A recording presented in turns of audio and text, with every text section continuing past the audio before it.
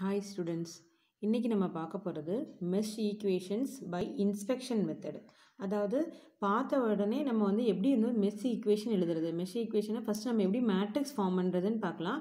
இதை நம்ம ஸ்பீடாக பார்த்துட்டு நம்ம ஒரு ப்ராப்ளம் டிஸ்கஸ் பண்ணலாம். இதுக்கு முன்னாடி உள்ள ப்ரீவியஸ் வீடியோ டிஸ்கிரிப்ஷன் பாக்ஸில் இருக்க. நீங்கள் அதை பார்த்துக்கோங்க. ஸோ ஃபஸ்ட்டு நம்ம வந்து இன்ஸ்பெக்ஷன் மெத்தடில் நம்ம பார்க்கணுன்னா அந்த நெட்ஒர்க்கில் வந்து எல்லாமே வோல்டேஜ் சோர்ஸாக இருக்கணும். இல்லைன்னா ஒரு பேட்டரிஸ் ஏதாவது கனெக்ட் ஆகிருக்கணும் கரண்ட் சோர்ஸ் இருக்கக்கூடாது. அப்போ கரண்ட் சோர்ஸ் இருந்துச்சுன்னா என்ன செய்யணும்னா அதை வோல்டேஜ் சோர்ஸாக மாற்றிக்கணும் சோர்ஸ் ட்ரான்ஸ்ஃபர்மேஷன் மூலமாக அது நம்ம ஏற்கனவே ப்ரீவியஸ் கிளாஸஸில் பார்த்துருக்கோம். இன்னொன்று ஆர் ஒன் ஒன் கண்டுபிடிக்கணும். அடுத்தது என்னென்னா R one one R one ஒன்ங்கிறது ஒரு செல்ஃப் ரெசிஸ்டன்ஸ் அதாவது ஃபஸ்ட்டு மெஷ் எடுக்கிறோம். அதில் என்னென்ன ரெசிஸ்டன்ஸ்லாம் கனெக்ட் பண்ணியிருக்கோ அதெல்லாம் நம்ம ஆட் பண்ணி ஆர் ஒன் ஒன்ல எழுதிக்கிறோம். ஓகே அடுத்தது ஆர் ஒன் டூ இல்லை ஆர் டூ ஒன் கண்டுபிடிக்கிறோம். அது வந்து எப்படின்னா ஆர் ஒன் டூ அப்படின்னா ஃபஸ்ட்டு மெஷுக்கும் செகண்ட் மெஷுக்கும் இடையில உள்ள ரெசிஸ்டன்ஸ் என்ன? இப்போ ஒரு ஃபோர் ஓம் ரெசிஸ்டன்ஸ் இருக்குன்னா அது ரெண்டு மெஷுக்கு இடையில இருந்துச்சுன்னா அப்போ ஆர் ஒன் டூங்கிறது ஃபோர் ஓம் அது ப்ளஸ்ஸா மைனஸா அப்படின்னு நம்ம எப்படி டிசைட் பண்ணுறது அப்படின்னா இப்போ அதில் ரெண்டு மெஷ் கரண்ட் ஃப்ளோ ஆகும். ஏன்னா ரெண்டு மெஷுக்கு இடையில இருக்கிறனால கண்டிப்பாக ரெண்டு மெஷ் கரண்ட் ஃப்ளோ ஆகும். ரெண்டு மெஷ் கரண்ட்டும் சேம் டைரக்ஷனில் இருந்துச்சுன்னா பாசிட்டிவ்னும் ஆப்போசிட் டைரக்ஷனில் இருந்துச்சுன்னா நெகட்டிவ்னு எடுக்கணும்.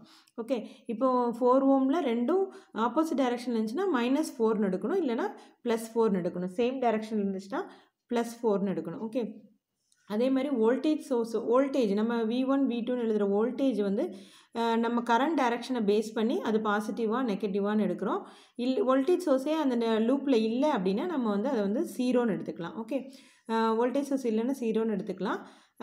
இப்போ பாருங்கள் இதான் ஒரு ஜென்ரல் ஃபார்ம் அதாவது ஒரு டூ பை டூ மேட்ரிக்ஸ் இருக்குது R one one R one two R two one R two two okay I one I two V one V two இதான் ஒரு ஃபார்ம் இந்த ஃபார்மில் எழுதும்போது ஆர் ஒன் ஒன்னுங்கிறது ஃபஸ்ட்டு மெஷில் உள்ள எல்லா ரெசிஸ்டன்ஸையும் ஆட் பண்ணி எழுதிட்டோம். ஆர் டூ டூங்கிறது செகண்ட் மெஷில் உள்ள எல்லா ரெசிஸ்டன்ஸையும் ஆட் பண்ணி எழுதிடுறோம் இந்த ஆர் ஒன் டூவும் ஆர் டூ ஒன்னும் சேம் தான். அதாவது ஃபஸ்ட்டு மெஷுக்கும் செகண்ட் மெஷுக்கும் இடையில உள்ள ரெசிஸ்டன்ஸ் அது ரெண்டும் ஆப்போசிட் டைரக்ஷனில் இருந்தால் நெகட்டிவ்னு எடுக்கிறோம். கரண்ட்டு கரண்ட் சேம் டைரக்ஷனில் இருந்துச்சுன்னா அதை பாசிட்டிவ்னு எடுக்கிறோம். ஓகே ஸோ நம்ம ப்ராப்ளம் டிஸ்கஸ் பண்ணும்போது உங்களுக்கு இது நல்ல தெளிவாக புரியும்.